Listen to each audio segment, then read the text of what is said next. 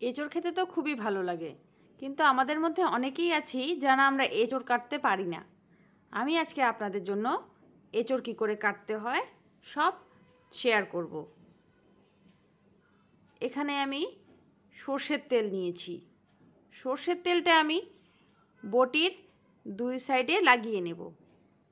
সর্ষের তেল লাগানোর কারণ যাতে বটির মধ্যে আঠা না লেগে যায়। এঁচড়ের। এবারে হাতের মধ্যে আমি একটু সর্ষের তেল মেখে নেব।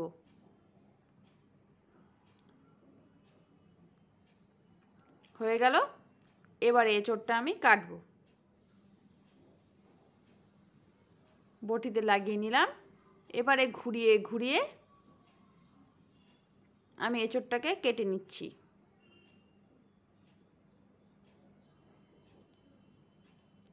দুটুকরো করে নিলাম মাঝখান থেকে। এবারে দু টুকরোর মধ্যে অর্ধেক টুকরো আমি রেখে দেব আর অর্ধেকটা দিয়ে আমি রান্না করব। এবারে এটাকে আমি মাঝখানে আরেকটা টুকরো করে নিচ্ছি।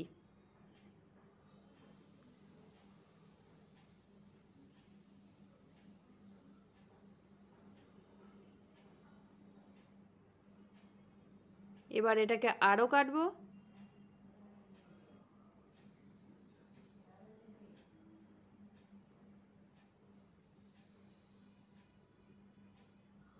এবারে এটাকে আর একটা টুকরো করে নেব।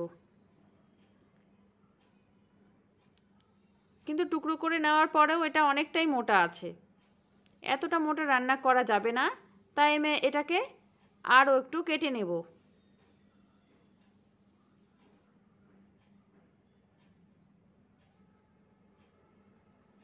এবারে মাঝখানের একটা শক্ত অংশ আছে, ওটাকে আমি কেটে বাদ দিয়ে দিব।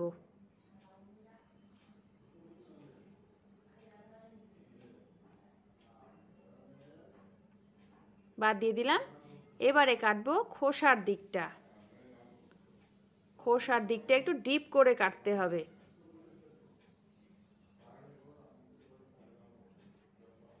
তার কারণ ডিপ করে না কাটলে একটু সবুজ সবুজ অংশ থেকে যায়।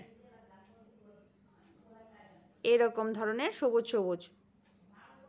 এই অংশটা থাকলে এঁচড়টা খেতে একটু তেতো তেতো লাগে। তার জন্য এটা কেটে বাদ দিতে হয়। আরেকটা কেটে দেখাচ্ছি। সেম প্রসেসে মাঝখানের শক্ত অংশটা আমি কেটে বাদ দিচ্ছি। এবারে খোসার দিকটা কেটে নিচ্ছি।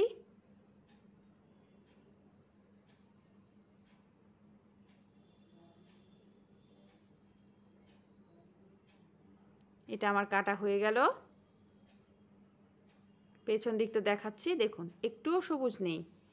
এবারে এক টুকরো নিয়ে আমি এটাকে ছোট ছোট টুকরো করে কেটে নিচ্ছি।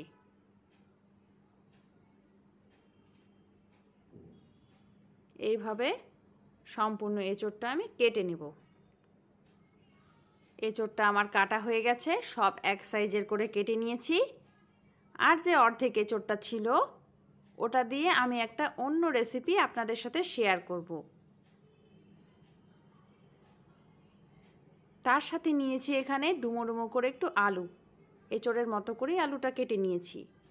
এবারে এইগুলোকে ভালো করে ধুয়ে আমি সেদ্ধ করে নেব। এঁচড় এবং আলু দুটোই সেদ্ধ করা হয়ে গেছে। এখানে আছে বড় সাইজের একটা পেঁয়াজ কুচি করা, তিনটে তেজপাতা, সামান্য জিরে। আর আছে এক চামচ করে আদা বাটা, জিরে বাটা, লঙ্কা বাটা, রসুন বাটা, আর আছে দুই চামচ পেঁয়াজ বাটা। এখানে আছে কুচো চিংড়ি।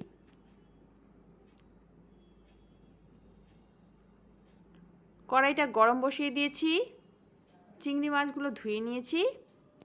দিয়ে দিচ্ছি সামান্য লবণ আর হলুদ। এবারে আমি কড়াইতে দিচ্ছি রিফাইন তেল। তেলটা একটু গরম হতে থাক। আর চিংড়ি মাছগুলোকে আমি একটু লবণ, হলুদ দিয়ে ম্যারিনেট করে বেশিক্ষণ রাখব না। সাথে সাথেই একটু ভেজে নেব।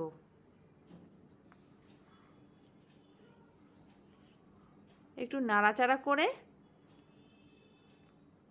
ভেজে নিলাম। চিংড়ি মাছগুলো ভাজা হয়ে গেছে।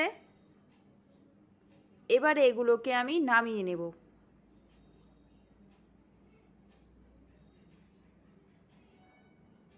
এবারে চিংড়ি মাছ ভাজা তেলের মধ্যে দিয়ে দিচ্ছি সর্ষের তেল।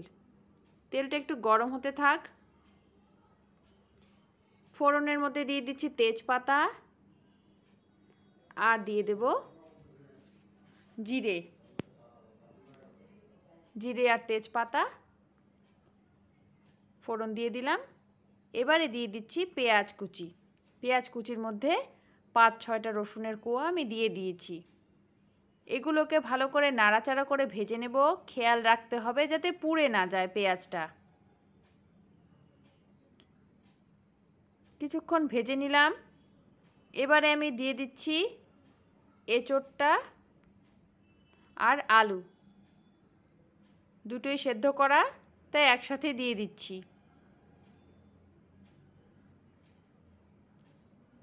কিছুক্ষণ নাড়াচাড়া করে নেব। এটা কিছুক্ষণ হতে থাকে এভাবে।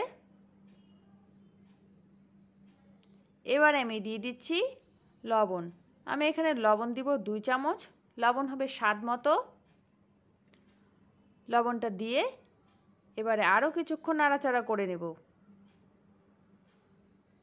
এবারে এর মধ্যে আমি দিয়ে দেব দুটো কাঁচা লঙ্কা চেরা। এটাও অপশনাল। আর দিয়ে দিব হলুদ।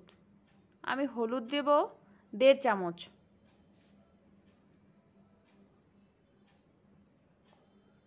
কালার না হলে ভালো লাগবে না দেখতে। তার জন্য আমি এখানে দেড় চামচ হলুদ দিলাম। হলুদটা মিশিয়ে দিলাম ভালো করে। এটা কিছুটা ভাজা হয়ে গেল। এবারে দিয়ে দিচ্ছি বাটা মশলাগুলো। সবগুলো বাটা মশলাই আমি একসাথে দিয়ে দেব। মশলাটা দিয়ে দিলাম। এবারে আরও কিছুক্ষণ ভেজে নেব। মশলাটা মেশানো হয়ে গেল। এবার এর মধ্যে আমি দিয়ে দেব বড় গ্লাস দিয়ে এক গ্লাস জল। জলটা দিচ্ছি। রান্নাটা আরেকটু সেদ্ধ হবার জন্য।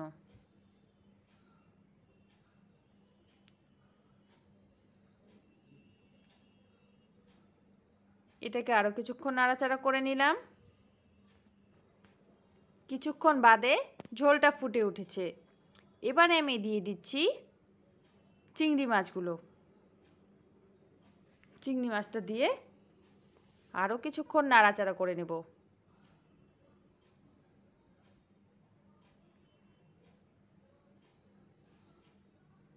এবারে এটা আরও কিছুক্ষণ হতে থাক এইভাবেই। এবারে আমি দিয়ে দেব শেষ উপকরণ হাফ চামচ গরম মশলা।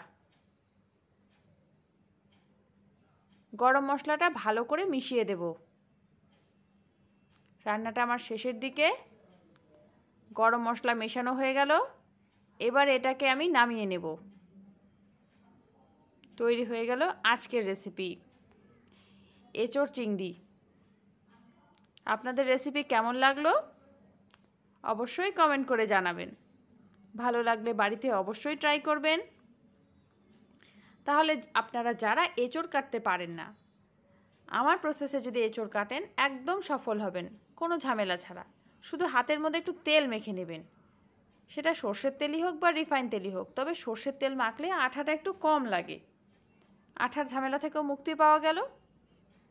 আপনাদের যদি রেসিপি ভালো লাগে, ভিডিওতে কিন্তু অবশ্যই একটা লাইক দিবেন। কমেন্ট করবেন এবং সকলের সাথে শেয়ার করবেন। এবং আমার সেকেন্ড রেসিপি এঁচোড়ের। অর্ধেক এঁচোড়টা তো আমি রেখে দিয়েছিলাম। সেই রেসিপি আমি পরের ভিডিওতে আপনাদের সাথে শেয়ার করব। তাহলে বন্ধুরা, আপনারা যারা যারা আমার ভিডিওটি দেখছেন, কিন্তু আমার চ্যানেলটি এখনও সাবস্ক্রাইব করেননি, তাদের কাছে একটাই অনুরোধ, আমার চ্যানেলটিকে সাবস্ক্রাইব করার। আর পাশের বেল নোটিফিকেশনটি অল করে রাখবেন। আমি যখনই কোনো ভিডিও আপলোড করি, সবার প্রথমে আপনি জানতে পারবেন। আজকে এই পর্যন্ত আবার দেখা হচ্ছে আমার নেক্সট ভিডিওতে সবাই খুব ভালো থাকুন, হাসি খুশি থাকুন।